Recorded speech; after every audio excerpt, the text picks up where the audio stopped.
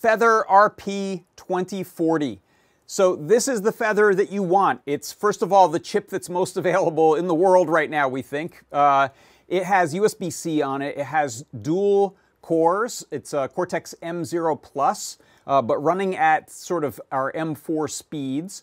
We got 8 megs of RAM on there. Uh, we have the STEMMA QT quick port, so you can connect things up easily to it.